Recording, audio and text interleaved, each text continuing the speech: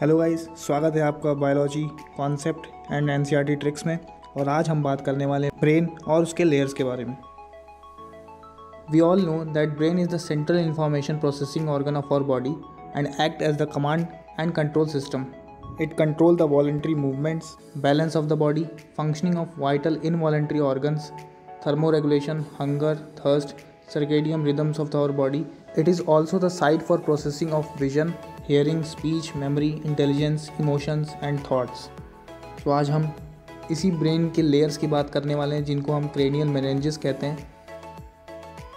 Brain is covered by cranial meninges consisting of three layers the function of the cranial meninges is to protect the brain and spinal cord from mechanical trauma and to support the blood vessels and to form a continuous cavity through which the cerebrospinal fluid passes तो आइए हम देखते हैं अब cranial meninges के three layers को। The outer layer is called dura mater a very thin middle layer called arachnoid and an inner layer which is in contact with the brain tissue called pia mater तो अब मैं आपको इन तीनों layer को inner से outer side में बताऊँगा।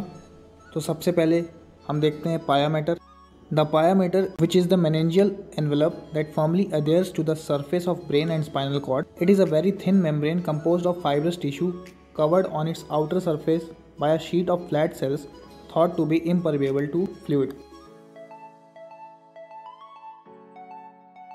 The next is the very thin middle layer called arachnoid.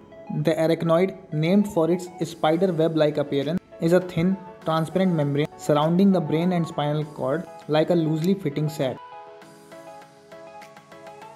Now, the last and the outermost layer called dura mater. Dura mater is the outermost layer of the meninges lying directly underneath the bones of the skull and vertebral column. It is thick, tough and inextensible. तो आइए अब मैं आपको इन तीनों layer को याद करने की ट्रिक बताता हूँ so the trick to learn the order of layer of cranial meninges from inner side to outer side. Innermost is the pia middle layer is arachnoid and the outermost layer is mater. So so, आप इसको P A D pad के form में याद कर सकते हैं। P for pia mater A for arachnoid and D for dura mater P से pass हो जाएगा।